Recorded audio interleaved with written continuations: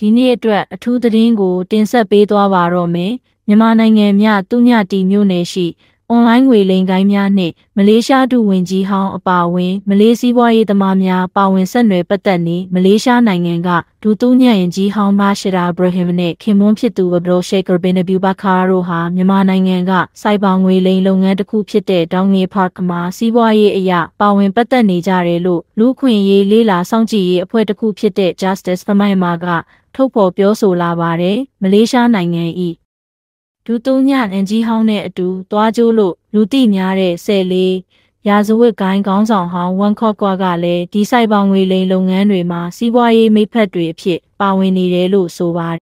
မြန်မာနိုင်ငံကငွေလိမ်လုပ်ငန်းတောင်းနယ်ဖာကကိုမလေးရှားဒုဝန်ကြီးဟောင်းနဲ့ခင်ပွန်းဖြစ်သူတို့ကတခြားမလေးရှားစီးပွားရေးလုပ်ငန်းရှင်တွေနဲ့အတူတည်ထောင်ခဲ့တာဖြစ်ပြီးဒီအထဲမှာဆက်လေး ရာဇဝတ်ကိုင်းကောင်းဆောင်ဟောင်းဝန်ခော့ကွယ်လည်းပါဝင်တယ်လို့သိရပါတယ် မလေးရှားဒုဝန်ကြီးဟောင်းရဲ့ခင်ပွန်းဖြစ်သူဘရိုရှယ်ကောကဒရိုက်တာအဖြစ်ပါဝင်တဲ့ဒေါင်းမီဂရူပဟာဟောင်ကောင်မှာကုမ္ပဏီမှတ်ပုံတင်ထားပြီးမလေးရှားနိုင်ငံမှာလုပ်ငန်းလည်ပတ်လုပ်ကိုင်နေကမြန်မာနိုင်ငံမှာစိုက်ပါငွေလိမ်ချန်လုပ်ငန်းကြီးအတွက်မလေးရှားနိုင်ငံသားယင်းနှိမ့်မြုံနှံသူတွေစီကဗန်နာငွေတွေရှာဖွေပေးခဲ့တယ်လို့ချွန်ကထောက်ပြပါတယ်ဒေါင်းကလေး group ကုမ္ပဏီကိုအမေရိကန်ပြည်ထောင်စုကဒဏ်ခတ်ပိတ်ဆို့အရေးယူမှုချမှတ်ထားတယ်လို့လည်းသိရပါ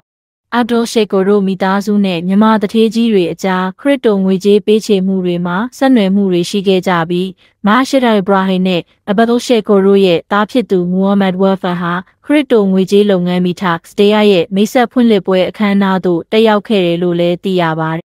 ဒီလုပ်ငန်းရဲ့အစောပိုင်းရင်းနှီးမြှုပ်နှံသူများတဲ့ကတဦးဖြစ်တဲ့ဒေတိုစရိုင်လျန်ခီဟွာဟာဒေါမီပါတ်တီထောင်ရမှာလဲပါဝင်ကူညီခဲ့သူတဦးဖြစ်ပြီးသူလဲမီတာစတေးရဲ့မိတ်ဆက်ဖွင့်လှစ်ပွဲအခမ်းအနားသို့တက်ရောက်ခဲ့တယ်လို့ Justice for Myanmar ကထုတ်ပြန်ထားပါတယ် ဒါအပြင်မာရှိဒါအဗရာဟင်နဲ့အဘဒိုရှေကိုတို့ရဲ့သားဖြစ်သူမူဟမ္မဒ်ဝါဖာလည်းမြဝတီခီးစဉ်အတွင်းမြန်မာတထေးကြီးတွေနဲ့တွေ့ဆုံခဲ့သေးတယ်လို့ Justice for Myanmar ကဆိုပါတယ်။သုံးခွမြို့နယ်ဆယ်ရွာတွင်စစ်မှုထမ်းကိစ္စအကြောင်းပြပြီးအုပ်ကြီးများကတအိမ်ကျပ်သိန်း50စီချင်း6တောင်းယူ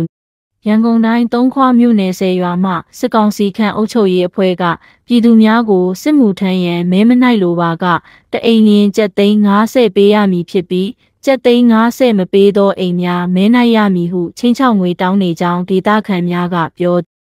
ရခင်လများကရွာမစစ်မှုထမ်းရန်ဆိုကအုပ်ကြီးများကရင်းတို့အစီအဆက်ဖြင့်ရွာမပစ္စည်းများခိုးတက်သူနှင့်အရက်သမားစုစုပေါင်း2ဦးကိုဆေလွတ်ခဲ့ပြီးကြံအိမ်များကို တအိမ်လင်း90ထောင်ကျပ်စီတောင်းခဲ့ကြောင်းဒေသခံများကပြောသည် ထို့ပြင်ရွာတွင်ကင်းမရှိတော့လဲကင်းကြီးဟုဆိုကာတအိမ်လင်လဆက်3000ကျပ်စီလဲပေးရကြောင်းသိရသည်သို့သောဇူလိုင်လတွင်မူစစ်မှုထမ်းရန်မဲမနိုင်လိုပါကတအိမ်လင်ကျပ်သိန်း50စီပေးရန်ချင်းချောက်လာခြင်းဖြစ် တချို့ပတ်စံရှိတဲ့သူတွေကတော့ပေးတာပေါ့ဗျာကျွန်တော်တို့လိုတနေ့လုံးမှတနေ့စားရတဲ့သူတွေကစားဖို့မှအနိုင်နိုင်မှာမနေရုံးကန်နေရတာပါကုံစည်းနှုံးတွေကကြီးနေတော့စားဖို့တောက်ဖို့ပဲအတော်စ조사ရှာနေရတာပါဗျာဟုဒေသခံတဦးကလူထုနေဦးတို့ပြောထို့အပြင်တောင်းယူထားသည့်ကြက်သိန်း90ကိုယနေ့ဇူလိုင်22ညနေ3နာရီတွင် နောက်ဆုံးထားပေးရမည်ဟု စစ်ကောင်စီအုပ်ချုပ်ရေးအဖွဲ့ကနေအိမ်များသို့အကြောင်းကြားထားရာပြည်သူများဒုက္ခတွေ့နေကြောင်းရင်းကဆက်ပြောသည်ပတ်စံမပေးရင်စစ်တပ်ခေါ်ဖမ်းခိုင်းမယ်ပြစ်တက်ခံရမယ်နဲ့အမြဲချင်းချောက်တယ်ဟုစေရွာဒေတာခန်ကပြောစေရွာသည်အင်ချေ900ကျော်ရှိပြီးငွေကြေးတက်နိုင်သူများကမူရင်းတို့သားသမီးစစ်မှုမထမ်းရစေရန်ရေတိုနီးဖြင့်အုပ်ကြီးများတောင်းတကဲ့သို့ ငွေပေးဖြည့်ရှင်းနေကြောင်းလဲဒေတာကန်အချို့ကပြောသည်ရွာကဆိုးတာကတထေးပေါ်တယ်လူမညီဘူးပေးနိုင်တဲ့တထေးတွေကဘလောက်တောင်းတောင်းအရှိကကြိုပေးကြတယ်ဟုဒေတာကန်တဦးကပြောဆယ်ရွာမှာမိုးရသည်တွင်စပားဆိုင်နွေရသည်တွင်ပဲတီစင်းစိုက်ပျိုးက